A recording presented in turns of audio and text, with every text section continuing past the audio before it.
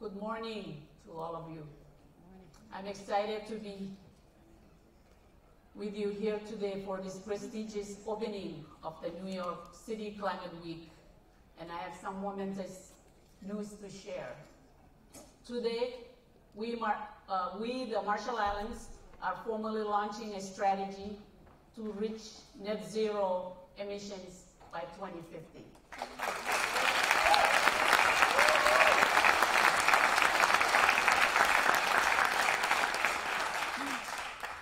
We are only the 10th country to produce a 2050 strategy and the first island nation to do so. And it is no coincidence that most of the countries that have come forward with strategies are members of the High Ambition Coalition, which the Marshall Islands convene. This strategy sets out a concrete pathway for the country to reach our long-held vision of net zero emissions and climate resilience by 2050.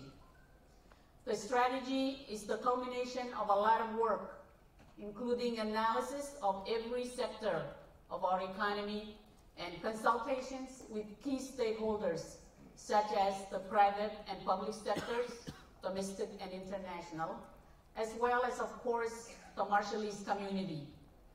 We have given this strategy a name. Tile Til Eo has a special meaning in Marshallese. It means lighting the way. That is what this strategy represents to us, the light guiding the way to our future as a zero emissions country. The strategy sets out what needs to be done to achieve that goal. As a leader, the strategy is an invaluable tool. I can see what needs to be done and what my responsibilities and those of my governments are. And the Marshallese people can see what the responsibilities of my successors and future Marshallese governments will be for the coming decades. The strategy has helped us in advance of the IPCC re special report on 1.5 degrees due out in just over a week from now, understand the gravity of the adaptation needs that face us. Under the strategy, we have committed to producing a national adaptation plan in 2019, which will address our uniquely vulnerable position as an atoll country which faces unique threats to its territorial integrity. The Tile Til Eo 2050 strategy is a living document. This means that it responds as we respond. We undertake to update it and enhance it as we learn and build on our experience on a regular five-year cycle linked to the development of our NDCs. I encourage every country, as well as every city, every state, and every company to respond to the invitation of the Paris Agreement to come forward with their own strategy by 2020 at the latest. I challenge you all to develop your own vision to fully decarbonize by 2050. If we can do it, so can you.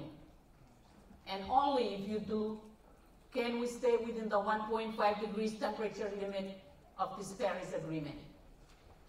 To achieve the full ambition of the Tile Til Eo 2050 strategy, what we call the lighthouse scenario, we will need access to private and public financing immediately, especially for the adaptation components. I therefore invite all those concerned with financing or investing in these types of projects to urgently assess how accessible your funding is to highly vulnerable countries which face considerable resource and capacity constraints, but where the need for funding has never been greater, especially for adaptation. And as I say, our vulnerability as an atoll nation is unique. We are only one of a handful of nations that face an existential threat due to the climate change. This is a unique challenge and we need help. I will expand more on the details of the strategy throughout the week, but this leads me to my other announcement. Marshall Islands has recently taken on the presidency of the Climate Forum, Forum. On November 22nd this year, we will be hosting a virtual summit entirely online to provide an opportunity for every country, not just those from the CVF, and others to show that they are prepared to step up. This means increasing ambition by 2020, which is what is needed if we are to stay within the 1.5 degrees Celsius temperature limit of the Paris Agreement. And I'm encouraging countries to use the CVF summit as an opportunity to show they are prepared to do this, including by signing the Declaration for Ambition or committing to bring forward a 2050 strategy. We look forward to your uh, participation. Join us. Friends, the last thing I will draw to your attention is the urgency with which we must approach COP24 this December. I commend my Pacific friends, Fiji, for their stoic leadership during this COP presidency. If you ever want to steer a ship through troubled waters, ask an islander to take the helm. The Talanoa dialogue gives my country and others like us great hope that we can indeed raise ambition.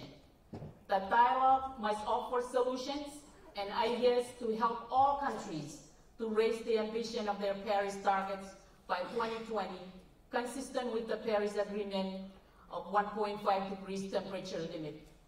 COP24 will need to send a very clear and unambiguous signal of intent in this regard. Coming only weeks after the IPCC report, the world will be watching. COP24 must also finalize the Paris Agreement work program. We cannot leave Katowice without the Paris Agreement being fully implemented. Ministers must instruct their negotiators to get the job done. There is no more time to waste. Excellencies, ladies and gentlemen, Kommol tata, thank you very much.